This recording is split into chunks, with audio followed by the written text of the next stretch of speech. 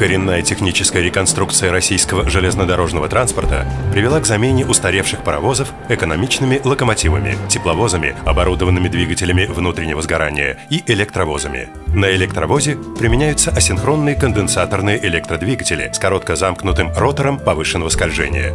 Асинхронный двигатель состоит из статора и ротора. Статор – неподвижная цилиндрическая часть, в пазах которого размещена обмотка, создающая вращающееся магнитное поле. Ротор – набранный из листовой стали и укрепленный на валу цилиндр, вращающийся внутри статора. В проводах ротора, вследствие пересечения их силовыми линиями вращающегося магнитного поля статора, возникает ток. Взаимодействие этого тока с магнитным потоком вызывает появление сил, заставляющих ротор вращаться в направлении вращения магнитного поля. Из-за некоторого отставания движения ротора относительно магнитного поля двигатель получил название асинхронный. Такой двигатель очень прост, легко переносит механические перегрузки, но требует для своего питания трехфазного переменного тока. Для этого на крыше электровоза укреплены токоприемники, пантографы, которые прижимаются к контактному проводу и передают электрический ток к тяговым двигателям электровоза.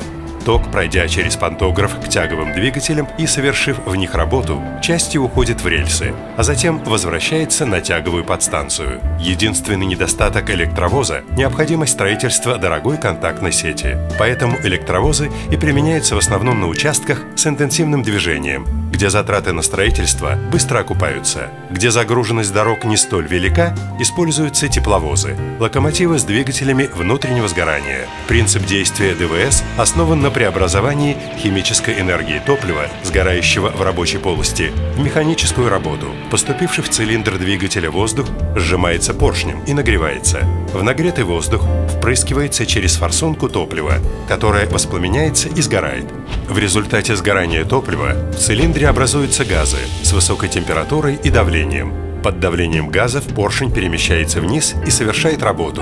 Двигатели внутреннего сгорания имеют шатунно-кривошипный механизм, преобразующий возвратно-поступательное движение поршня во вращательное движение вала.